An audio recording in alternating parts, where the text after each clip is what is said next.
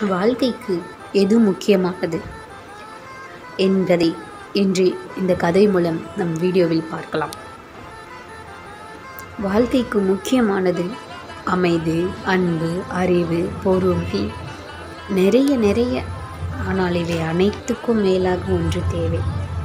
அது என்னன்னு இப்போ பார்ப்போங்க. ஒரு அறையில் நாலு மெழுகுவத்தி இருந்ததுங்க. அதை எரிஞ்சிட்டு இருந்தது நாலு மெழுகுவத்திக்குமே நல்லா ஆனந்தமாக எரிஞ்சிட்டு இருந்தது அந்த பக்கம் மெலிதாய் காற்று வீச தொடங்கியது. உடனே அந்த மெழுகுவர்த்திகள் அனைத்தும் பார்த்து கொண்டிருந்தது. நாலு மெழுகுவத்தியும் பார்த்து கொண்டிருந்தது. அப்பொழுது ஒரு மெழுகுவத்தி கூறியது என்னவென்று பார்ப்போமா? அதன் பெயர் அமைதி. ஐயோ காற்று வீசுகிறது என்று பலவீனமாக பயந்தது. உடனே காற்று பட்டது. அணைந்து விட்டது மீதி மூன்றும் அதை பார்த்து இன்னும் பயந்தது. பின்பு அன்பு என்றும் ஒரு மெழுகுவத்தி ஆம் காற்று வீசுகிறது. காற்று எதுக்க முடியாது. நானும் அணைந்து விடுவேனோ? என்றது. உடனே அதுவும் அணைந்து விட்டது. மீதம் இருக்கும் ரெண்டு மெழுகுவத்தி என்ன நினைத்து கொண்டிருக்கோம் அப்படி நீங்களும் நினச்சி பாருங்க. பிறகு அறிவு என்னும் மெழுக பயந்தது. காற்று மெலிதாக தான் வீசுகிறது. ஆனால் நம்மளால் எதிர்க்க முடியாதுன்னு சொன்னேன் மெழுகுவத்தியும் போயிடுச்சு. காற்று வீசுதுன்னு சொன்னேன் மெழுகுவத்தியும் அணிஞ்சிருச்சு. நம்ம என்ன பண்ண போகிறோம் அப்படி யோசிக்க ஆரம்பிச்சது. என்னாலையும் எதிர்க்க முடியாதோ அப்படின்னு நினச்சது ஒரு சில நிமிடத்தில். அதுவும் அணைந்து விட்டது.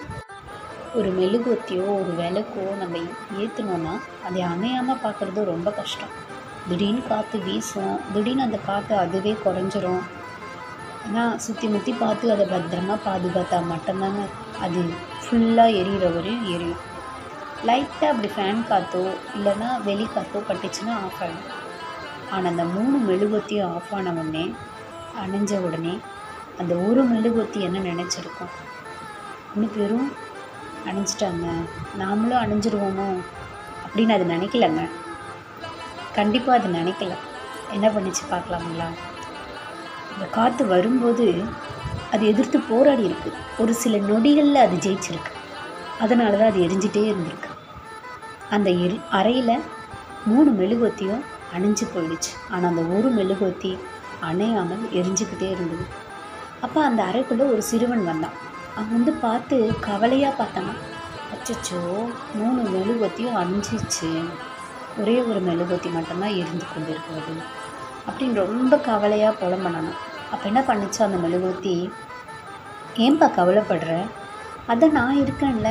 என்னை வச்சு அந்த மூணு மெழுகுவத்தியும் நீ தான் எரிய வச்சிடலாமே. கவலைப்படாத அப்படின்னு சொல்லிச்சான். உடனே அந்த சிறுவன் அந்த மெழுகுவத்தியை பார்த்து கேட்டாங்க உன் பெயர் என்ன? அப்படின்னு கேட்டிருக்கான். அதுக்கு என்ன சொல்லியிருக்கோன்னு நினைக்கிறீங்க? அது சொல்லிச்சாங்க என் பேர் தான் நம்பிக்கை. நான் இருக்கிற வரைக்கும் அன்பு பாசம் அமைதி எதனால் வேணால் எல்லாரும் அணைஞ்சு போயிடலாம். நம்பிக்கைன்னு ஒன்று இருந்துச்சுன்னா வாழ்க்கையில் கண்டிப்பாக போராடி ஜெயிக்கலாம். அதனால தான் நானும் ஜெயித்தேன் அப்படின்னு சொல்லித்தேன் அப்புறம் அந்த பையன் அந்த ஒரு மெழுகு வச்சு மீதி மூணு மெழுகுவத்தியும் எரிய வச்சிட்டாங்க. நம் வாழ்க்கையில் அன்பு அமைதி அறிவு பாசம் இதில் எது ஒன்று குறைஞ்சாலும் நம்ம பயந்துருவோம்.